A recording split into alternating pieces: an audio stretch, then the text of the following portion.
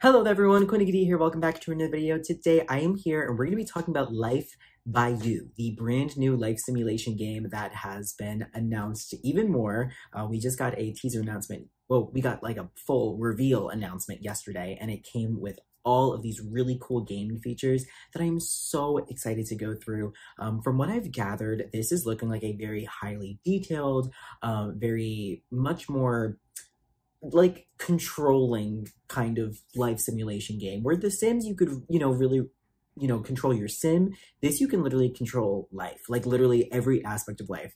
The the townies the houses the world like the dialogue everything and I think it's really cool. So today I am going to be using this thread that was created by Fake Gamer Girl on Twitter. They also have a YouTube. Go subscribe to them. Um, they also made their own video. So if you want to go watch Fake Gamer Girl official before you watch me, go ahead because they are amazing. But um, I am stealing their thread from Twitter because I just think it's it's a great thread. Um, and it is called Why EA Should Be Absolutely Terrified of Life by You. And we're just going to go through it very briefly. Um, first, we have the logo, which is like, okay, the logo is kind of reminding me of, you know, like being recorded almost, you know, it's like, like the recording logo. And like, I don't mind it, but it could be cuter. But anyways, maybe it's maybe it's temporary. First things first, Life by You has no rabbit holes or loading screens. You can go to work and control your characters at work too. You can also switch to anyone and anytime. This means that there is like your sim will just never disappear. You can always control your character and also like you can switch to anyone and anytime. If you see a random townie and you want to click on them and control them, you can control them. If you want to make it like Tuesday, but it's Saturday night, you can fast forward all the way to Tuesday. Like it's crazy. You can time jump, you you can household jump. It's insane. It's really insane. Then we have character creation is already super in depth with the ability to choose your age, sexual preference, sexual identity, pronouns, your job, your upbringing, upbringing and your preferred vehicle. Like that is crazy. I love the fact that they have all of these in place. This is really important for a game, especially made in 2023. You know, I'll give it to the Sims. Sims 4 was made in like what 2014, 2015. Um, so a lot of, you know, stuff like that.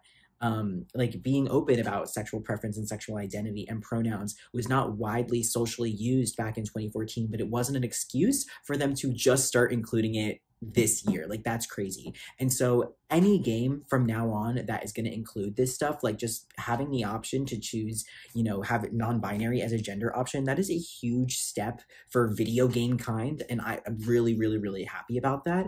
Um, the characters themselves definitely look like they are still in the works, but they are giving very like much more detailed. And the fact that you can pick your upbringing and preferred vehicle like i wonder what the choices are going to be for that like are there choices just to the upbringing? Like that's confusing to me but also kind of cool. Um and then we have you are complete of you are in complete control of the world. The game features a town editor and a town creator. You can skip an entire decade if you wanted. So those are two different things right there. Like I mentioned, you can skip time and fast forward time. I don't know how time is going to work in this game compared to, you know, in real life. You can skip an entire decade. Like, what is a decade? You know, like what, because Sims time, like a decade, my entire my entire generation would be gone.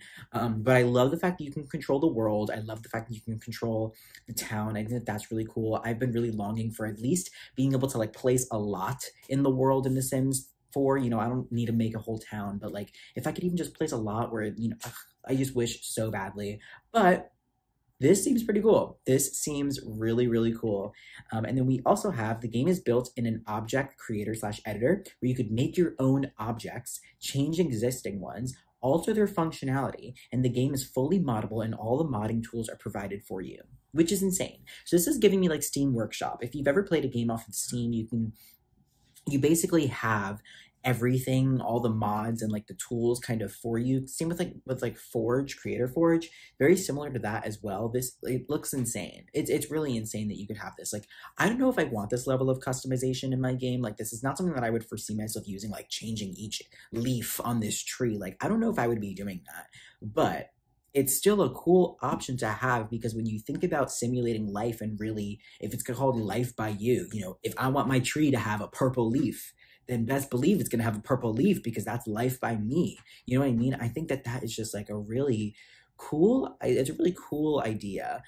Um, and then we have a build buy mode has a create a style tool. That's it. That's the tweet. Yes, I miss create a style. I definitely, like in The Sims 3, I used create a style a lot. I don't know if I used it as much as other people did because I never really found a way to like make everything match and some of the patterns didn't look good or the textures didn't look good on certain um, objects. But in a game that's made in 2023 and being released in 2023, I am sure create a style is going to look amazing, um, especially when it comes to designing. I know a lot of my simmers that I watch would love create a style, so this is really, really cool. Full dialogue options when talking to characters. They are contextual and change depending on where you are, who you're talking to, what your relationship is like, etc. There is also an in-game dialogue editor where you can create and share your own stories for others to play. Like that's also insane like how you can sit you know pick what they say to each other i'm assuming there's no made up language like the sims but um it's just like again i don't know if this is something i need but it's definitely something that's so cool and different for us who play life simulation games like this really is quite honestly unheard of also sorry i'm like so thirsty it's it's literally unheard of it's it's really I don't know how I feel about it. It's really weird. Um, and then here's a look at the color wheel, um, and also just looking generally at the like style of the game.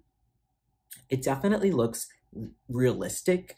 Um, I'm hoping that it looks even better because it's looking realistic to the point where it's fake. You know what I mean? It's looking like basic. It's not giving like when I look at a sim, I'm like, oh my god, like the, the, Sims are very cartoony, and I always remember thinking that they look very cartoony. But I look at it and I'm like, that is the Sims. Like that is the style of the Sims. I hope that Life by You has its own unique style, and I'm sure that that'll you know keep being built as we go on throughout it. But like it's really, really, really cool. And I hope that The Sims 5 or Project Renee takes notes with some of these things, especially when it comes to something as simple as the color wheel.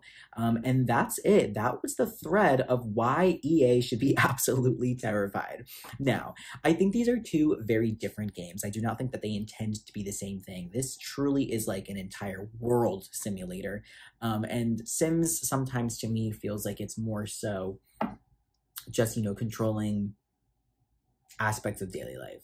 Um, but maybe Project Renee will be different. Project Renee is also focusing on multiplayer, which is something that Life by You hasn't stated yet, but could be. I'm not sure. Don't count me on that. But that's another thing that we have to think of when we compare these two things. Like, they're going to be two different games at the end of the day. Same with Paralives.